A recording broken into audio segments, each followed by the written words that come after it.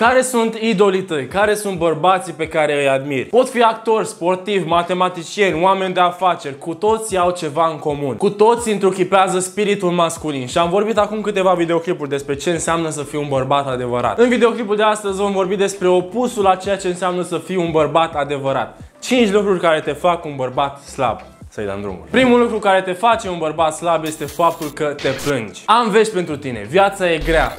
Știi ce o face și mai grea? Faptul că nu adopți responsabilitatea asupra ceea ce ți se întâmplă. Ce înseamnă să adopți responsabilitate? Să accepti că se întâmplă lucruri rele tuturor, inclusiv ție și că nu poți schimba asta. Poți doar să schimbi felul în care reacționezi la ceea ce ți se întâmplă îmbunătățind situația în loc să te plângi. Al doilea lucru care te face un bărbat slab este că te lași controlat de emoții. Bărbații adevărați nu reacționează din impulsivitate, sunt calmi, raționali și gândesc logic. Asta nu înseamnă că bărbații nu plâng sau că nu pot să sufere. Înseamnă că plâng, suferă și caută o soluție mai bună după. În loc să renunțe definitiv la orice încercare. Ca să facem o analogie, gândește-te că te joci un board game și oponentul tău face o mișcare mai bună decât tine sau tu faci o mișcare greșită. Nu arunci cu totul tot jocul în aer, ci încerci să faci o mișcare mai bună data viitoare când e rândul tău. Al treilea lucru care te face un bărbat slab este că vorbești de rău apropiații. Critica sau vorbele mai dure nu trebuie evitate sub nicio formă, dar trebuie spuse în față persoanelor dragi. Dacă îi vorbești vorbești pe la spate fără să le spui în față direct cu ce greșesc, vei fi văzut ca un trădător, ca un neloial, ca un mincinos. Ori astea sunt cu adevărat caracteristicile unui om slab. Al patrulea semn este că porți speaker, că ai resentiment. Un om adevărat iartă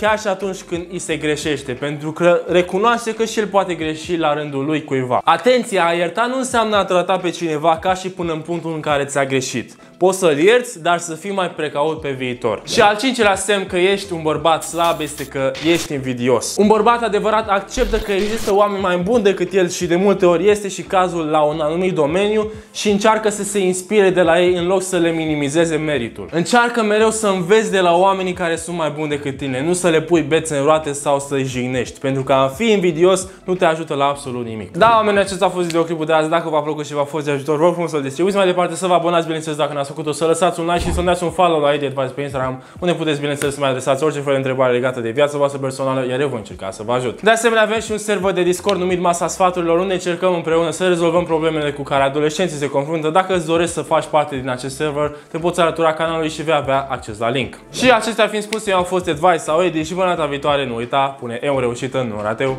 Pa, pa!